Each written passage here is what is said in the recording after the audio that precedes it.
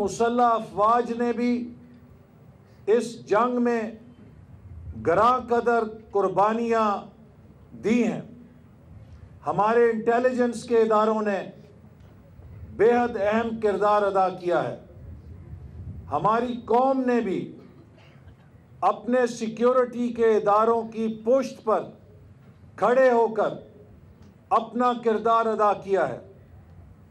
آج پاکستانی قوم کے وہ تمام شہداء، چاہے وہ مسلح افواج سے تعلق رکھتے ہوں، پولیس سے تعلق رکھتے ہوں، یا شہریوں پہ مبنی ہوں، وہ سب ہمارے ہیروز ہیں۔ اور جب ہم امن کی گھڑیاں اور ساتوں میں جی رہے ہیں، تو اس کی قیمت ان شہداء نے اپنے خون سے ادا کی ہے، جن کے لیے پوری قوم ان کی مرہون منت بھی ہے، احسان مند بھی ہے اور خراج تحسین بھی پیش کرتی ہے۔ آج آپ نے جو حلف اٹھایا ہے، وہ بہت طاقتور حلف ہے۔ اس کا ایک ایک لفظ اس وطن کی دھرتی سے محبت اور اس وطن کی آزادی کے لیے ہر لمحہ وقف کرنے کے جذبے سے سرشار ہے۔ میری دعا ہے کہ اللہ تعالیٰ آپ کو اس حلف کی لاج رکھنے کی توفیق اور طاقت عطا فرمائے۔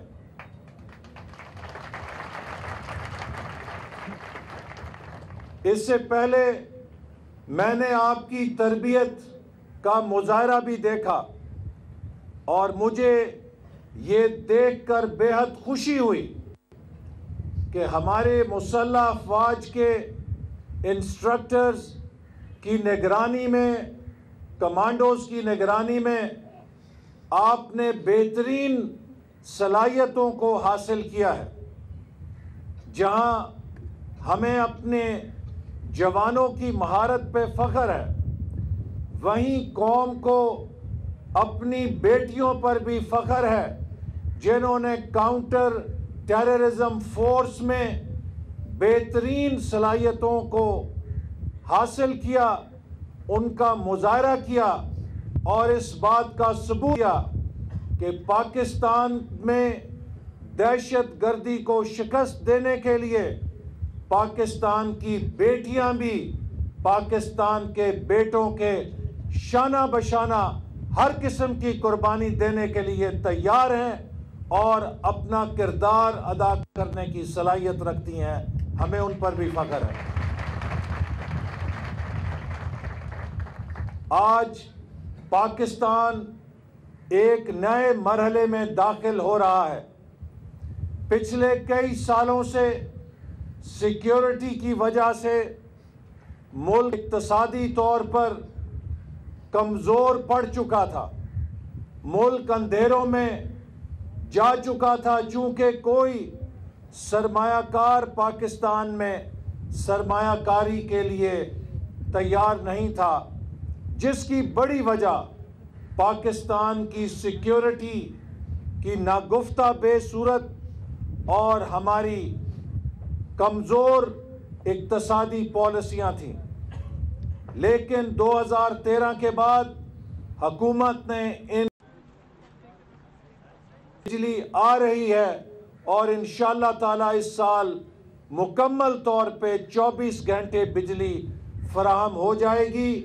اور ہم نے چار سالوں میں دس ہزار میگا واٹ بجلی پیدا کی ہے، جبکہ چھیاسٹھ سالوں میں سولہ سے اٹھارہ ہزار بجلی پیدا کرنے کی صلاحیت ہم نے حاصل کی تھی۔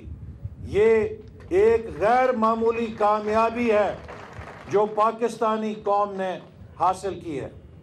اسی طرح گزشتہ چار سالوں میں آپریشن از آپریشن رد الفساد اور نیشنل ایکشن پلان کے ذریعے پاکستانی قوم نے دہشت گردی کی کمر توڑ دی ہے۔ آج دہشت گرد پاکستانی ریاست کو محاصرے میں نہیں رکھتے، بلکہ دہشت گرد پاکستانی ریاست کے محاصرے میں ہیں اور دوڑ رہے ہیں۔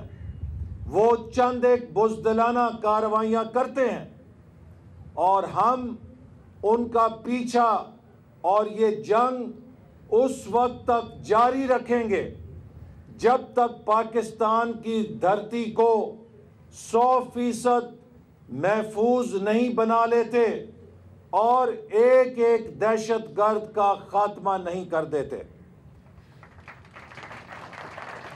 پاکستانی قوم کا یہ عزم اور اس کا یہ ارادہ اس لیے ہے کہ ہم اپنی آنے والی نسلوں کو ایک محفوظ پاکستان، پر امن پاکستان اور یکجہتی، ہم آہنگی پہ مبنی پاکستان دے کے جانا چاہتے ہیں۔ ایک ایسا پاکستان جس میں ہر پاکستانی خواہ اس کا کوئی نسل سے تعلق ہو، کسی زبان سے تعلق ہو یا کسی مذہب سے تعلق ہو، اگر اس کی جیب میں پاکستان کا شناختی کارڈ ہے، اگر وہ پاکستانی ریاست کا شہری ہے، تو وہ خود کو ایک خاندان اور ایک قبیلے کا فرد سمجھے اور خود کو اتنا ہی معتبر اور اتنا ہی محفوظ سمجھے جتنا کوئی اور پاکستانی ہے۔ یہ ہے وہ قائد اعظم کا پاکستان جس کے لیے ہمارے بزرگوں نے قربانی دی تھی۔ پاکستان اس لیے بنا تھا کہ ہندوستان میں مسلمانوں کے خلاف مذہب کی بنیاد پر انتقام لیا جاتا تھا۔ مذہب کی بنیاد پر مسلمانوں کے خلاف تعصب روا رکھا جاتا تھا۔